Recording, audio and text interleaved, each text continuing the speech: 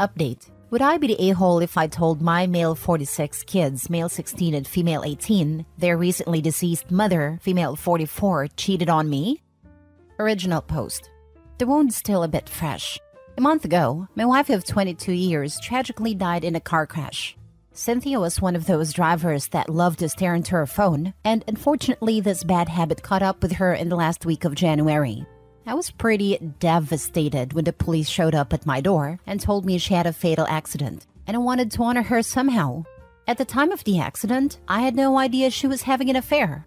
The last four or five months, I did notice she was pulling away and our intimacy decreased, but I thought this was just something that happened to couples after 20 years, so I didn't pay much mind to it. But at least from what she told me, Cynthia started to get into writing. She was constantly on her laptop typing away at all hours. She told me she was working on a fantasy book, hopefully the first of his series. When I asked more, she said it was about a fantasy world where a super advanced human race appears and interacts with orcs and elves and magic with laser guns and high tech. It sounded very cool, and Cynthia promised as soon as she had her first draft she liked, she would let me read it. I decided to honor her by getting the draft of her book and hiring a writer to clean it up and publish it with a novelty press. I got on her laptop and no book. No sign at all. I opened her Chrome thinking she might have written it in Google Drive and saw a bunch of pinned tab. One was a Facebook Messenger tab with a ton of her messages with a man named John. I have no idea who John is, never met him, but they talked about meeting up, exchanged photos, everything. The last message John sent her was two days before Cynthia's accident. The two saying they loved each other and him saying he was going on a business trip to Germany. The messages between Cynthia and John have shown they had met up at a house more than once, so I already had a locks changed. Not sure if John is back yet, and frankly don't care if he is.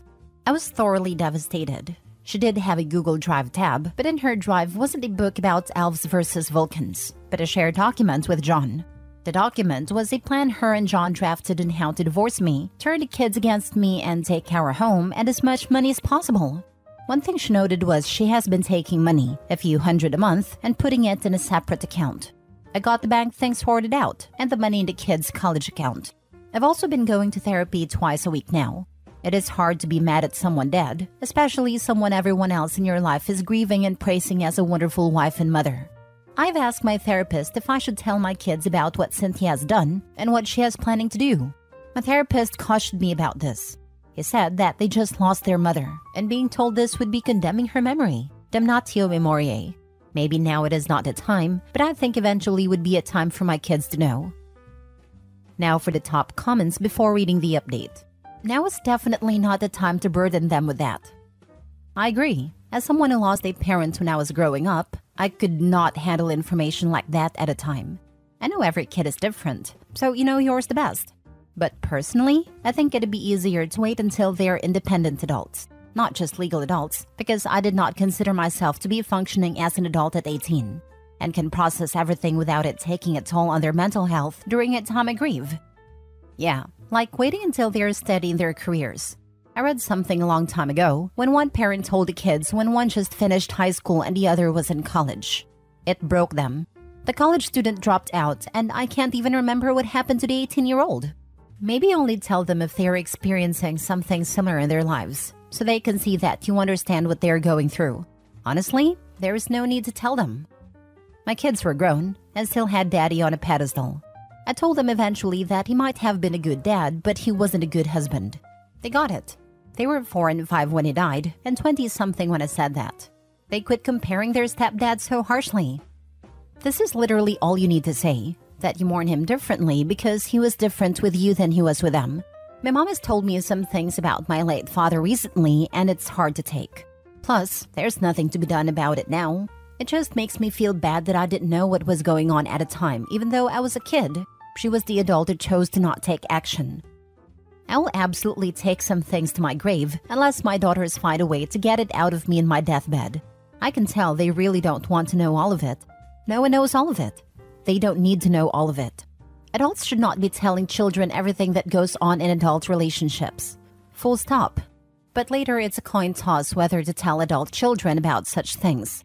I don't think it's helpful unless for a very good reason. For example, my ex is bipolar. That's the most genetically determined of the major mental illnesses, and some of his story is relevant. Although, the children have now passed the point where bipolar makes its appearance, so it's a bit easier to discuss. You would be the a hole, but I would suggest finding out who this John is and make sure he does not show up in your lives, such as at the funeral or anything. Sounds like they had some big plans involving your kids, and who knows what this POS could say. Now for the update. Some things have happened since the last time. To answer some questions, I have gone to the bank and got control of Cynthia's account and transferred the money into a savings account for the kids. Also, my kids already suspected. Tuesday night, my eldest Michelle and my son Jason had something to say to me. They sat me down in the living room, and Michelle said, We think mom was cheating on you. They both said they weren't sure, but it was eating them up seeing me in extreme grief the past month, and they thought I should hear what they suspected. They brought up how Cynthia was always away, and when she was at home, she would say strange observations about me. Stuff like, Isn't it weird your dad's working late this week? This is one of those seeds Cynthia mentioned in her document that she wanted to plant to the kids. Michelle said her suspicions went high the week before the accident when she got home from the school and saw a strange jacket on a coat hook by the front door. It wasn't any jacket Jason or I had, so she was very suspicious about it. I told both my kids that I didn't tell them, but I found evidence on their mom's computer when I was looking for the book she said she was writing. Michelle wanted to see the evidence, but Jason said he doesn't want to think or talk about mom for a while. I shared the info with Michelle after she insisted she already suspected her mom and was ready for it. It feels good to now have someone close that can talk to me about this beyond my therapist. Yesterday afternoon, I was home alone when I heard someone jiggling the back door knob. I went to the door and saw a man I never saw before, trying to use a key on the lock. I told him to step back from the door and he almost jumped. I opened the door a crack and asked him who he was and what he was doing in my backyard. It was John, Cynthia's affair partner. He told me that he worked with my wife, and he just got back from a trip and saw Cynthia died on social media, and him and Cynthia were starting a business. They had a business bank account with his investment money in the business, and he was wondering if I could help him get the business funds transferred over. I looked him straight in the eye and said I was at the bank and Cynthia didn't have an extra business account, and I had no idea what he was talking about. John also said that he wanted to check my wife's things for any sensitive business documents. I said I was a stranger and wasn't welcome in my home, especially since he tried to enter without permission. John looked defeated, but did suggest he would consult with a lawyer about his sensitive business documents and business funds. John had a key to your home, and he knew Cynthia was dead and still tried to enter like he had rights to it. Hope he needs to consult his own lawyer and get the locks changed. Change the locks if you haven't already. Very sorry about this. Glad your kids suspected and are handling it. Good luck to you all. That man is fortunate. By stealing into someone else's house, he was taking a risk that would cost him far more than money. I'm not proud about what I'm going to say, but if all of this is true, I'm glad she's dead. I mean, she wasn't only cheating, which is horrible, she was stealing OP's money and executing a plan to put their own children against him. She was the incarnation of evil. Even all the pain, OP is lucky that this happened, because if not, she was prepared to take everything from him and destroy him. Her children saw something was wrong long ago. She was one of those people who believe their plan is immaculate because they are geniuses and completely underestimate everyone else. Most criminals think this way, Totally agree. The world is better without that kind of people. I get the feeling that business money was the money she was stashing away.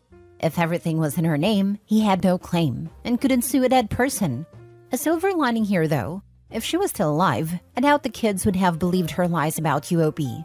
I would say get a security system for your house and maybe look into a PI to find out who this man is.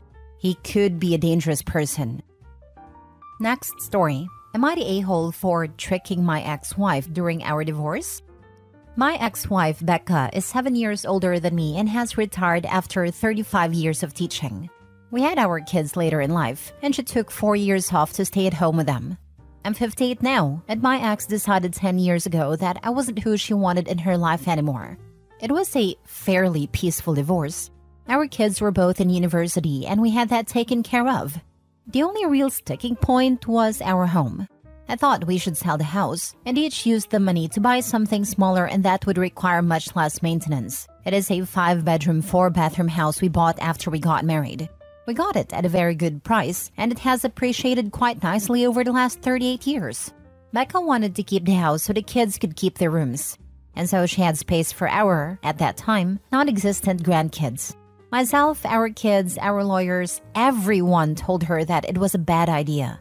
I gave in and traded away alimony for my share of the house. Like I said, my kids were in school and neither of them planned on their careers keeping them in our town. My work gives me $250 a day tax free as a living allowance since I work away from home.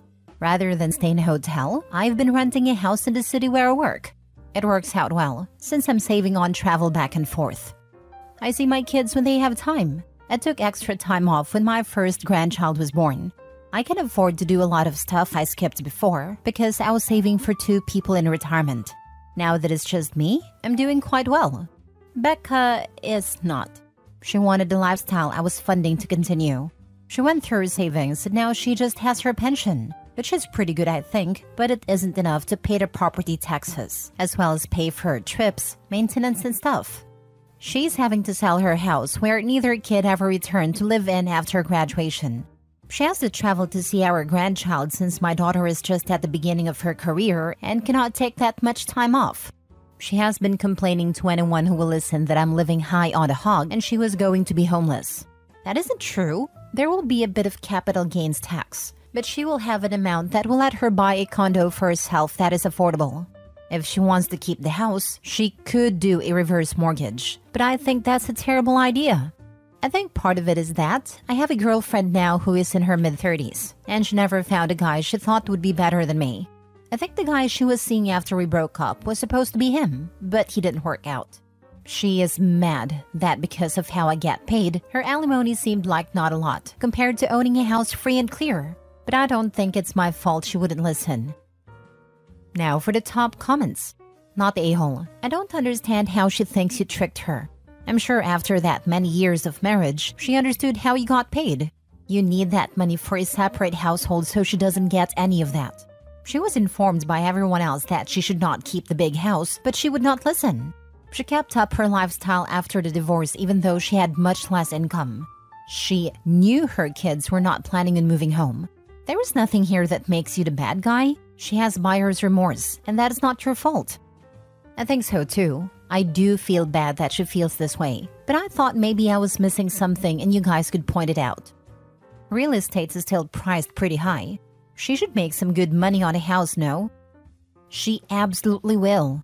If they divorced 10 years ago, all houses everywhere, assuming she didn't let it fall into disrepair, have since gone way the heck up.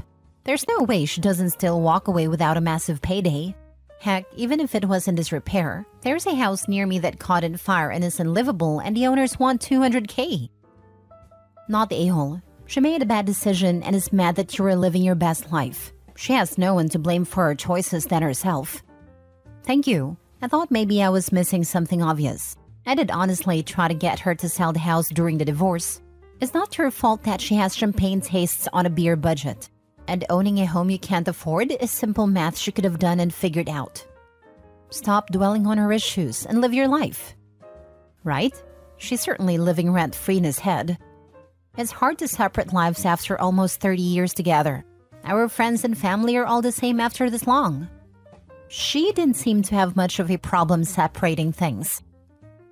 Last story Am I the a hole for completely ignoring Valentine's Day because of our dead bedroom and not entertaining my wife when she expressed that it upset her?